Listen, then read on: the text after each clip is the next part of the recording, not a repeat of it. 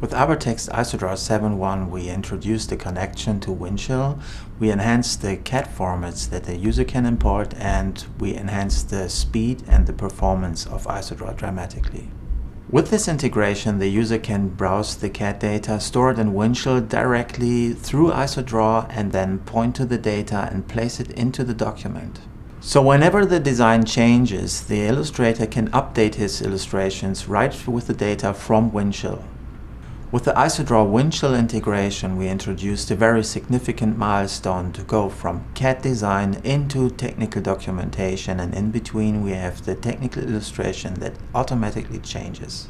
With IsoDraw 7.1 we introduced the Product View Adapter technology, which is a generic interface to multi-CAD environments.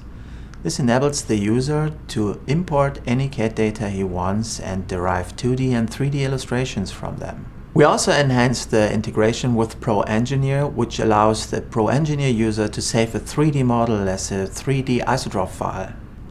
As engineering data gets bigger and bigger in response to that we increase the performance and the speed of the IsoDraw application dramatically.